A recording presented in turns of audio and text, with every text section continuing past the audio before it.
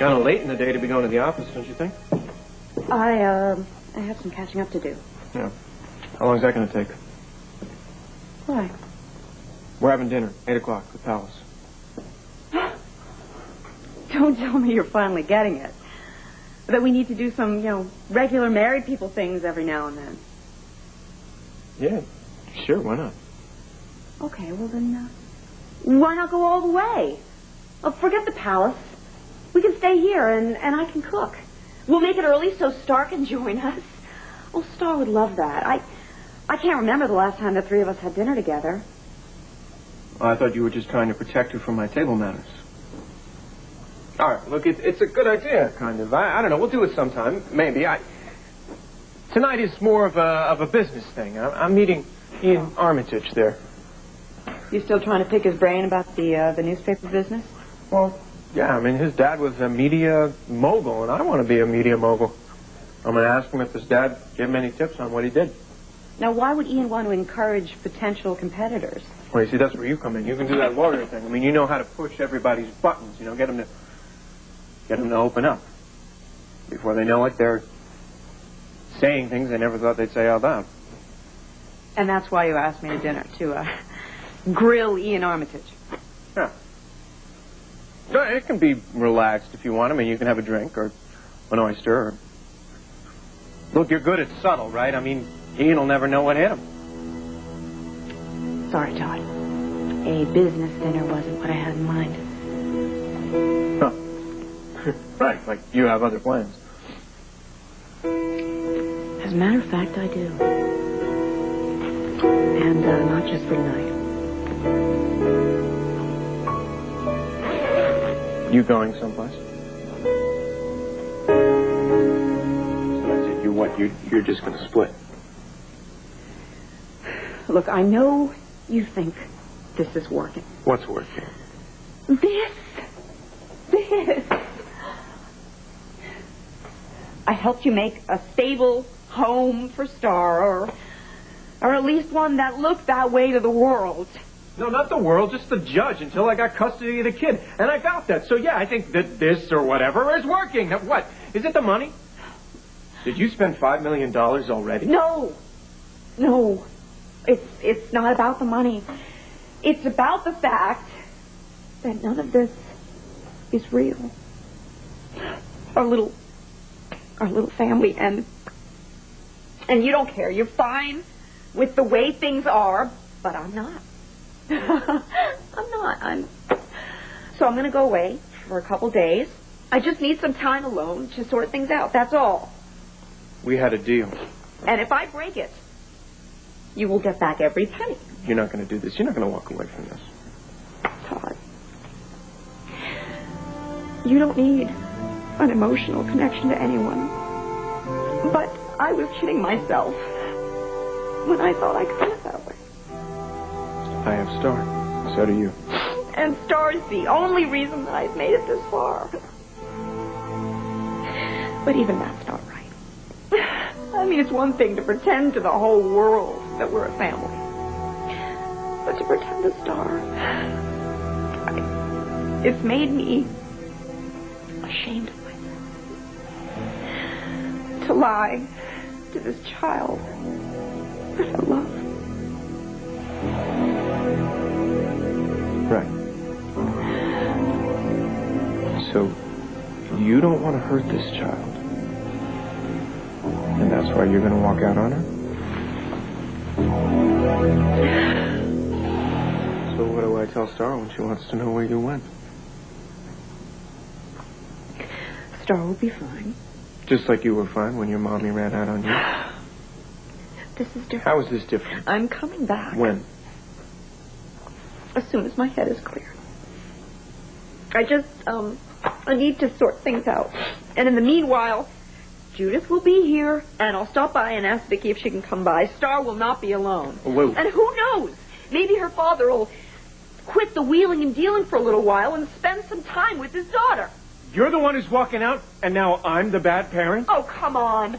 You're a workaholic and you know it. I'm trying to give my kid everything that I didn't have when I was growing up. Yeah, but that wasn't money. You missed out on a family. Yeah, well, now I got so much money, I bought a family. Now, you read your contract. You signed on to give Star a loving, happy family. Yeah, so you'd look good during the custody battle while you won, okay?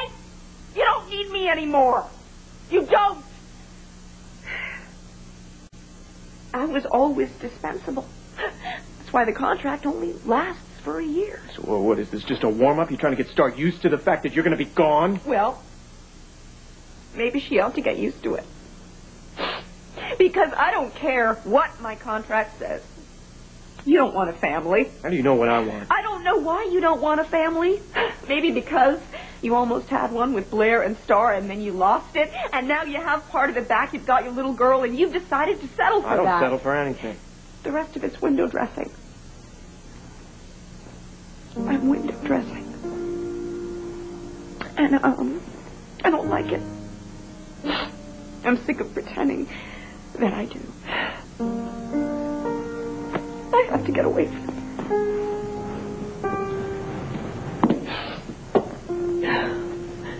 I have to get away from you, Todd.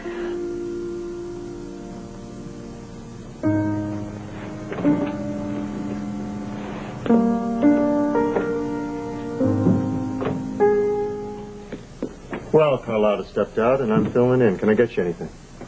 Yeah, I'll have one of those little wafer things and a shot glass of red wine. Looking for Téa. Maybe. She left. And I got the distinct impression she didn't want company. Well, I don't want to be your company. We're married. Where'd she go?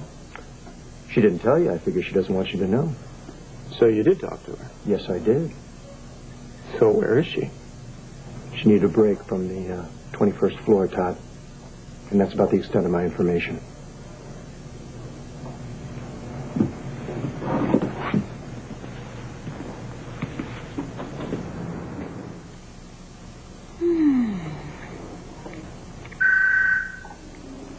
Gee, wonder who that is.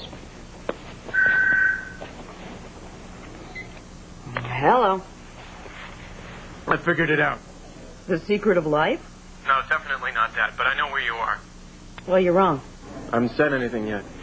It doesn't matter what you say. Uh, the answer will be no, whatever you come up with. All right, look, I'm I'm a cruddy person. I have a rotten temper, and I often have food stuck in my teeth. There. Is that what you wanted to hear? I didn't want to hear anything out of you for about, ooh, 72 hours. Where are you? I'm gone. That's all you need to know. I can't believe that you would just walk out on me and Star. I just needed, um, some time away. You're holed up at Rachel's, aren't you? Now, why would I be at Rachel's apartment when, um, that'd be the first place you'd think of? Why are you giving me such a hard time? You know, if I didn't know better, I'd think you were trying to say you missed me. The only thing I'm missing is the whole point to this stupid game. Let me more. I'm stuck at the Palace Hotel, and, and I'm waiting for, for Ian Armitage to get here so I can grill him about how his old man made his fortune. And you're not here to help me. You're not here to support me. Sorry. I made other dinner plans. Forget it. I give up. I, what, what is the point to this whole lesson, the great Professor Delgado? Because I don't get it. You're a bright guy. Figure it out. Have a cookie. Wow. Put a phone in the girl's ear? Stand back. At least it sounded good. Sounded good. Girl, you were amazing. Whatever stunt Todd Manning tried to pull, he's sorry now. It's not as much what he did as who he is. And who I am. It's really getting to me, Rachel. What? Your marriage? My mirage. Oh, sure. I'm officially Todd Manning's wife, but I'm also confused, exhausted, going nowhere professionally. Oh, and I haven't had sex in so long that I'm not sure I remember how it's done. Well, I know I don't remember. But I have an excuse. I'm single.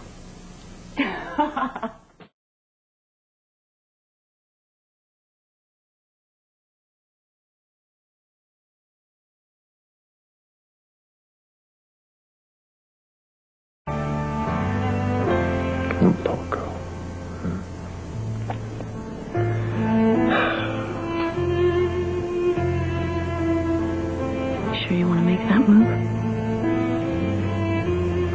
right.